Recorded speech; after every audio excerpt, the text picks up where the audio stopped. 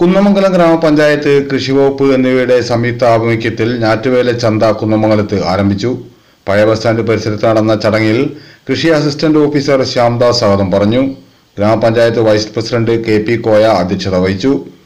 President Shaija Valappil ഉദ്ഘാടനം നിർവഹിച്ചു. Ashifa Rasheed T K Hitesh Kumar Vinod Padanilam A K Shoukathali M V Baiju തുടങ്ങിയവർ സംസാരിച്ചു. കുള്ളൻ തെങ്ങിൻ തൈ പലവൃക്ഷ തൈകൾ കുരുമുളക് വള്ളി പച്ചക്കറി വിത്തുകൾ എന്നിങ്ങനെ നടീൽ വസ്തുക്കൾ ചന്തയിലുണ്ട്. ന്യൂസ് ടീം വാർത്താ വർത്തമാനം.